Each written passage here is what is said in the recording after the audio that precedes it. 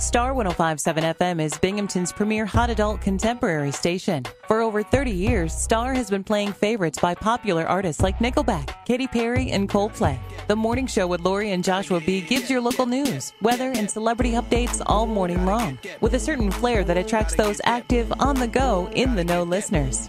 Having a broadcast range that encompasses over a 60 mile radius and covers 10 counties in the southern tier and northern Pennsylvania mean that 36,300 listeners are tuned in to receive your message. Along with local DJs, Star 1057 FM also carries the hugely successful John Tesh Show, Hollywood Confidential with Leeza Gibbons, and Kid Kelly's Backtracks USA. Star 1057 FM's programming attracts a young listener base of successful 20 to 30 something female homeowners, which means Star 1057 FM speaks to this area quintessential soccer moms and first time buyers, the first consumer demographic to attract and keep for the long term. In addition to keeping the airwaves active, Star 1057 FM is also grooving in the digital realm. Listeners can tune in and listen from anywhere in the world on our streaming station at star1057fm.com. We also reach our loyal listeners through weekly email blasts and the new Star 1057 text messaging club, allowing us to keep in touch with our listeners and provide them with current updates on concerts, events, giveaways, and more. Join Star 1057 FM and be a part of a station that brings Binghamton its real music variety.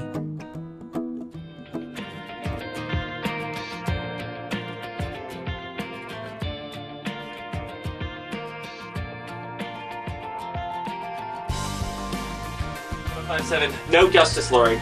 It's just you know you try to run a little mom and pop Pez museum, and this is what happens. The company that makes Pez candy is suing a California museum, seeking to have a giant Pez dispenser created by the owners destroyed. the federal lawsuit against the giant snowman Pez dispenser at the Museum of Pez Memorabilia in Burlingame, which is apparently in California, never heard of it, uh, amounts to a trademark infringement, said a rep from the company, and should be destroyed, shredded. Uh, Gary Dawson and his wife Nancy, who own the museum and created the giant dispenser, said they are they are simply puzzled by the lawsuit.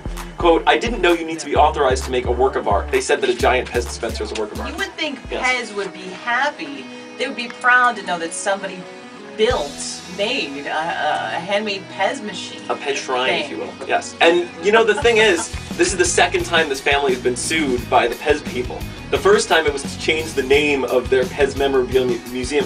It's currently called Museum of Pez Memorabilia. I don't know what it used to be called. I think if Pez is so upset about this and they want this Pez dispenser destroyed, they should really do it sort of like a pinata type thing. String that baby up, uh, jam it full of heads and let the kids go crazy. Oh, it's creative. You know, they make the nice footage. You make a commercial out of that. It's music variety from Daughtry. Feels like tonight, Star 1057 waking up on a Thursday morning.